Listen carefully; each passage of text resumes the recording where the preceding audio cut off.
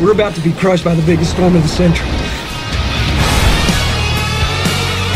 What the hell was that about? The treasury's being robbed.